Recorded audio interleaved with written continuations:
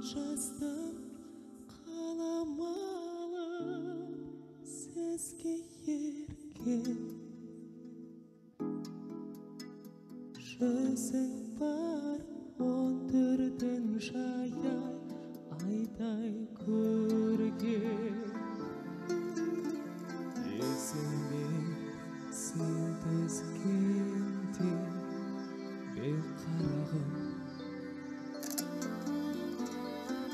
басқайсы қаты қалғанай іштің терті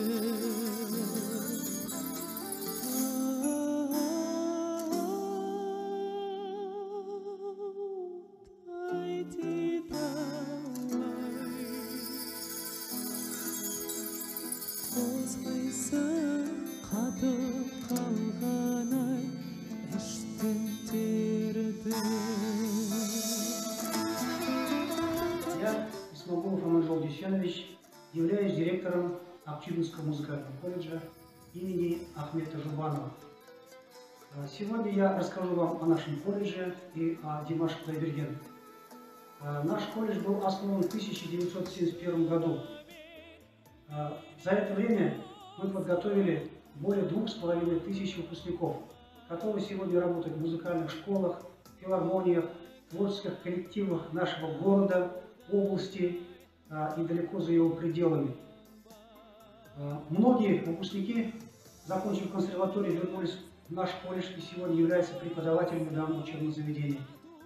А, Благодаря а, а, труду наших преподавателей, а, творческого коллектива, многие наши выпускники принимают участие на конкурсах различного уровня, областных, республиканских, международных, завоевывают места, становятся лауреатами. Но наиболее известный среди них, конечно же, это Димаш Кудайберген, который сегодня известен во всем мире. Вот. И здесь, это в данный момент первый этаж колледжа учебного корпуса. Здесь мы разместили а, достижения наших учащихся, наших выпускников. Здесь кубки, дипломы, грамоты. Вот. Прежде всего, это, конечно же, бюст нашего Ахмета Жубанова, чье имя мы носим. А, Здесь, как я уже говорил, кубки разместились, журналы, книги, э, э, награды. Э, И это все Димаш подарил нам. Далее располагается стенд «Лучшие учащиеся нашего, э, выпускники, учащиеся нашего колледжа, колледж Махтамыша». Здесь лауреаты различных конкурсов, которые принимали участие как в нашей стране, так и за рубежом. Это солисты, это ансамбль, инструменталисты, которые стали э, обладателями э, премии нашего, президента нашей страны. Ну и в центре, конечно же, расположился Димаш Кудайберген. Вот. И э, многие бывали в нашем колледже, э, любители и фан-клуб, э, представители фан-клуба с многих стран мира, и они задавали нам различные вопросы. И э, я хочу сказать прежде всего о том, что, наверное, гены сыграли роль. Родители э, Димаша Кудайберген – это Ханат Айтпаев, Светлана Айтпаева, известные в нашей стране люди, известные исполнители, певцы. Ханат является композитором, и многие его песни, песни известны в нашей стране. Светлана также известная певица, она э, является депутатом областного маслихата. А бабушка и дедушка, они тоже очень близки к творчеству. Они поют народные песни, играют на домбре. Мне приходилось бывать у них дома в гостях, и как любой казах, они э, принимают э, э, гостей, рассказывают, как рос Димаш Кудайберген. Ну, как я уже говорил, прежде всего, это, конечно же, гены, наверное, заработали, что он родился в такой творческой семье. Ну, второе, это преподаватель, на мой взгляд. Он попал в очень хорошие руки, занимался у известного преподавателя, заслуженного деятеля Республики Казахстан Марата Ужабаевича Айтимова, который с ним занимался на протяжении четырех лет. А, И уже в это время он а, участвовал на конкурсах и занимал места.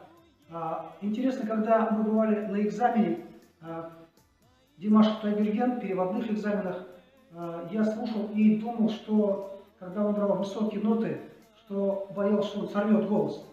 Но Марат Атимов говорил, что нет, все будет нормально, у него в запасе там еще есть верха. Вот. И, конечно же, третье, это Димаш очень э, трудолюбивый человек, он находится всегда в поиске, и поэтому, наверное, он интересен. Каждый раз он показывает слушателю что-то новое. А, и диапазон, естественно, э, очень э, широкий, он звучит одинаково, интересно и красиво в верхнем регистре, среднем и нижних регистрах. А, в марте месяце прошлого года в городе Москве, а, в Кремлевском дворце съездов, состоялся концерт Димаш Кудайберген, где присутствовали слушатели 45 стран мира, и был полный аншлаг. Я тоже присутствовал на этом концерте и все это видел. Димаш пригласил на этот концерт своего преподавателя Марата Ужабаевича Айтимова. С ним они спели вдвоем дуэт. В конце концерта он поднял буквально меня с места и поблагодарил меня в моем лице, а, наш колледж, своих преподавателей за то, что а, мы а, подготовили его, что мы направили на правильный путь. Естественно, мы все рады и благодарны Димашу Кудайберген, что он достиг таких результатов и сегодня прославляет не только наш город, наш колледж, но и нашу страну. И известен и любим во всей стране. А сейчас, дорогие друзья, я приглашаю вас в экскурсию по нашему колледжу. А, здесь на первом этаже располагается наша миссия. Она звучит следующим образом. Подготовка специалистов с высоким творческим потенциалом на уровне международных стандартов. Сейчас мы поднимемся на третий этаж, где учился Димаш Кудайверген.